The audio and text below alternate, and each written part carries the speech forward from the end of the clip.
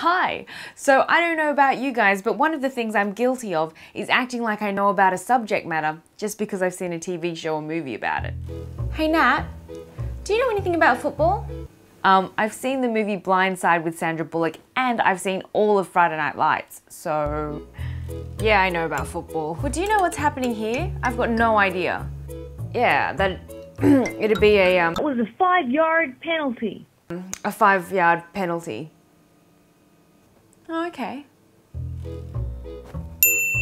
And what's the position of that player there? That would be the You're not a quarterback until quarterback. That would be the quarterback. Oh, okay. Then who's this player over here?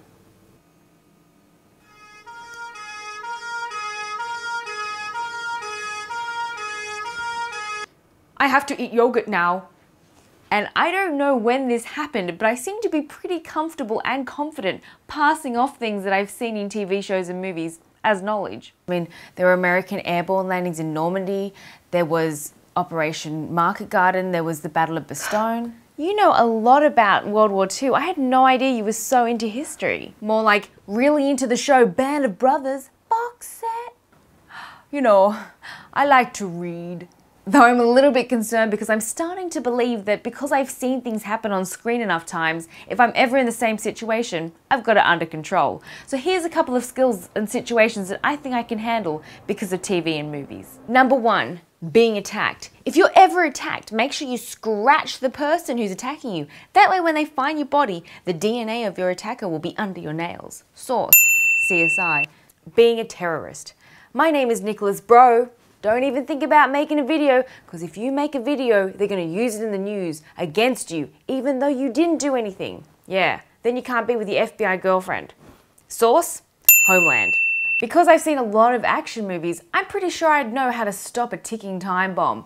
I'd know which wire to cut because it's always red, right? Why do they always pick between red and black? Red. Red, cut the red one. Source? Common sense. Unbelievable. Yeah. Let me know though, are you the same? Do you have any kind of knowledge or skills that you feel that you've acquired through just watching a TV show or movie? Let me know in the comments what they are.